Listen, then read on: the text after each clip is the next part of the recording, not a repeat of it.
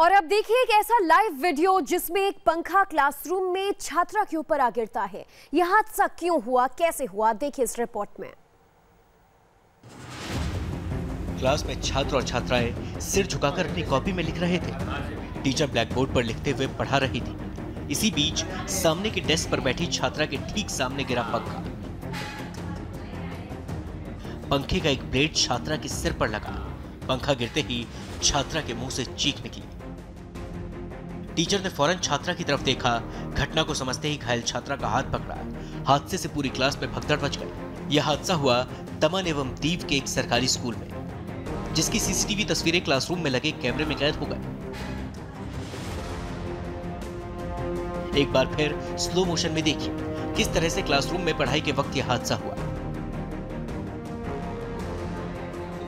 School में यह हादसा ना हुआ होता। अगर कबाड़ के पंखे को क्लासरूम में उड़ते खतरे की तरह ना लटकाया जाता। आप खुद देखिए, छत से टपके पंखे की हालत। कबाड़ बन चुके पंखों के इस ढेर में से एक की मरम्मत कर क्लासरूम में छात्रों के सिर पर लटका दिया गया था। गनीमत रही कि पंखा सीधे छात्रा पर नहीं गिरा। यह छात्रा के सिर पर छूकर टेबल से टकराया और फिर फर्श पर जा गिरा। स्कूल में फ़र्स्ट एड बॉक्स था, लिहाजा छात्रा की फ़ौरन ही मरहम पट्टी कर दी गई। राहत की बात यह रही कि छात्रा को ज़्यादा चोट नहीं लगी। इससे टीचर्स और बाकी स्टाफ की भी जान में जान आई।